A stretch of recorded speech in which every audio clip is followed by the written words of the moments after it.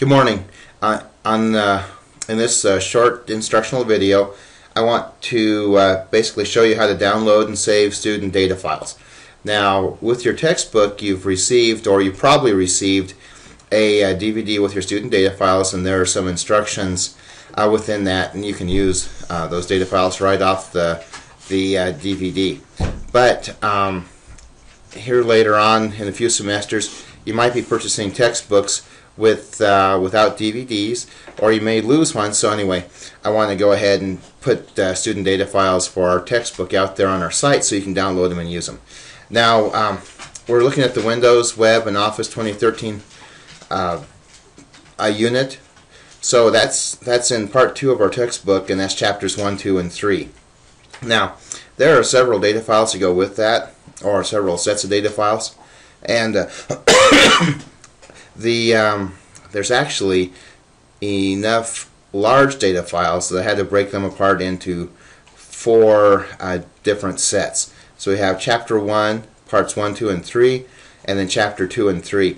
There aren't any data files from chapter 2, but uh, there are several from chapter 3. So I've tried to make these fairly small so you can download them and, and use them. Now, in Word, for instance, as well, uh, we, we're using student data files and this is the link to down, download those data files. There are also student data files in the Excel section, PowerPoint, and Access as well. So this process applies to uh, to all of these uh, all of these units.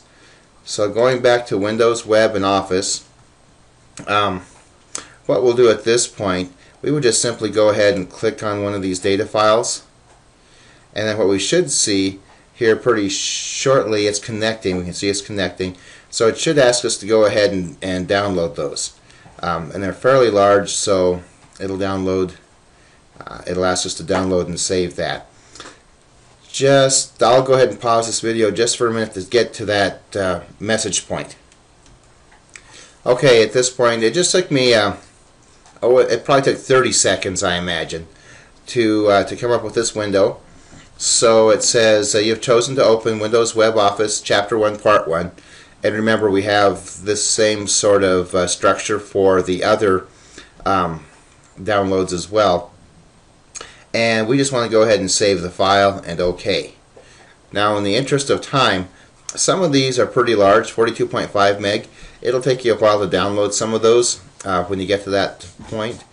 Um, so and some are smaller some are much larger regardless we'll go ahead and save the file. Now just in the interest of time what I've I've gone and done is went to my downloads directory and after the point where I've downloaded those files we'll see these web office chapter 1 part 1 uh, folder in my downloads directory. Now this is for Windows 7 I know some of you are running Windows 8 and some are running Windows 7 I'll try to uh, I don't have at this point in time Windows 8 but the file structure stuff should be about the same within Windows 8 I'll try to make a second video and specify Windows 7 or 8 when that time comes. So uh, we have Windows Web. We have the Word 2013 chapter 6 and 7 student data files. What I'll do at this time is uh, just go ahead and select one of those. And excuse me, copy it.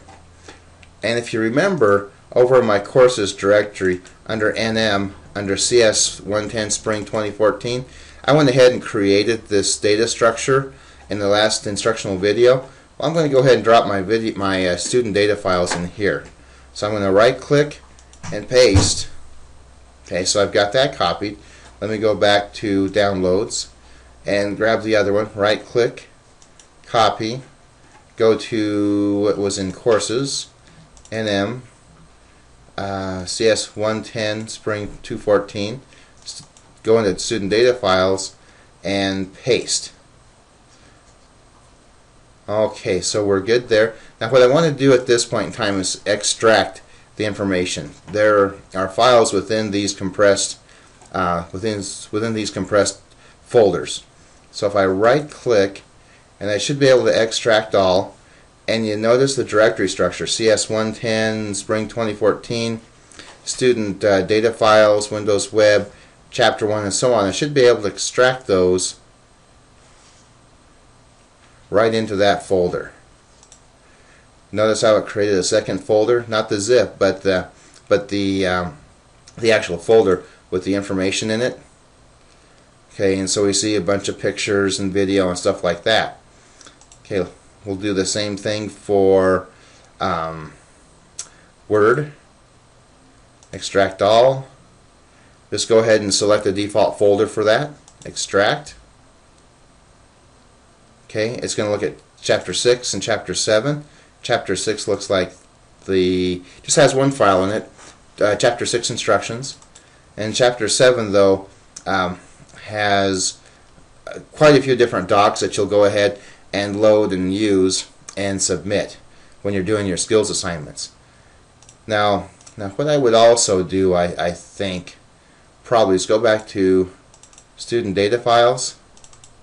Okay, so I'm in student data files, and I'd probably keep those zipped files around.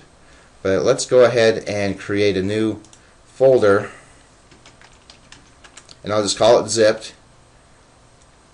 And I'm going to put, so what I'm doing is just clicking, holding the control button, clicking the next one, dragging them over into zipped, and that'll help kind of clean up uh, my student data files a little bit. If I need to go back um, and say I delete something in here accidentally, I overwrite it, I can still go back into my zipped folder, um, and you can call it whatever you want. Um, student data files if you want, uh, or compressed students data files, or originals maybe. Um, originals might be a better word. And uh, be able to go back in and unzip these once again. Okay, so um, hopefully that will help you understand how to go ahead and download, copy these uh, files, um, extract them, and extract them into a directory structure that can be useful and, and efficient for you. So um, if you have any questions or comments, please, uh, please uh, send me a message, and thank you very much.